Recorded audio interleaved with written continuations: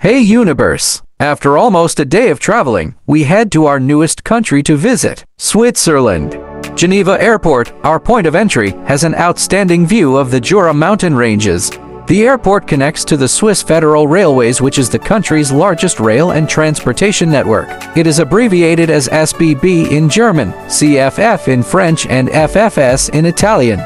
From the airport located in the city of Geneva, within the state of the same name, we are heading almost 63 kilometers northwest to the city of Lausanne in the canton of Vaud.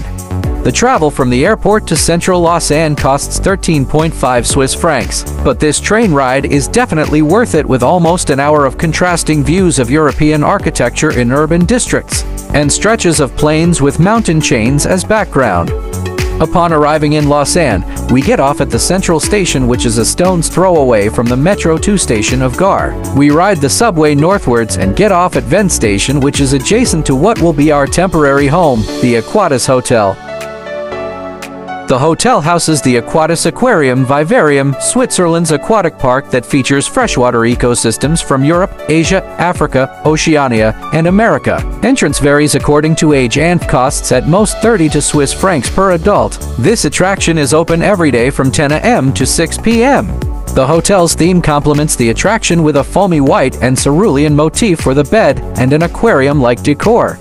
The different parts of the room give a somewhat Scandinavian feel or Europe's approach to modernism and minimalism.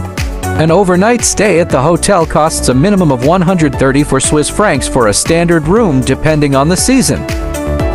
Upon check-in, the hotel provides a card that visitors can use to freely ride all public transportation including buses, trains, and metros. Visitors who will stay in accommodations where a tourist tax is applied such as the Aquatis Hotel is entitled to this Lausanne transportation card. The card is valid for a maximum of 15 days. Being close to the train station and having a card that gives free rides, we check other parts of the city that stay up late. The following day, we ride the subway to the southernmost station of the metro to rail, Ouchy Olympique. Ouchy is a port and a lakeside resort adjacent to Lake Geneva. Its most prominent landmark is the Eole, a semicircular wind vane sculpture that follows the prevailing wind direction. Ferry rides to other Swiss lakeside municipalities such as Nyon and Montreux are given, but interestingly, routes to French cities such as Thonon and Evian are also available. Here are some of PANDAddy's lakeside photos.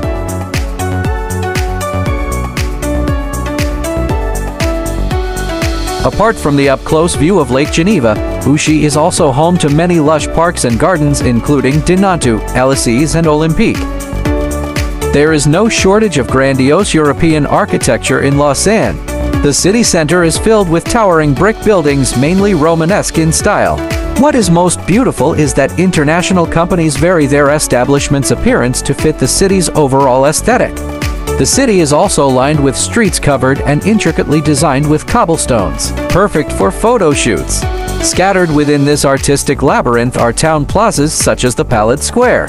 The center of the square is an old fountain adorned with a statue representing justice. But above all these is the city's most prized architectural gem, the Lausanne Cathedral. The cathedral is seen as one of the most beautiful Gothic art monuments in Europe and attracts around 400,000 visitors from all parts of the world. It is located at the heart of the old town and gives a breathtaking view of the city especially during sunset. But its most interesting feature is its 600-year tradition. Every night, starting from 10 p.m. to 2 a.m., the watchman rings the bell and cries out to the city's residents in all four cardinal directions to announce the time. As the golden hour draws to a close, we head back to our hotel and congratulate ourselves for a day well spent. And that wraps our Lausanne trip. In our next vlog, we'll visit another Swiss city. See you!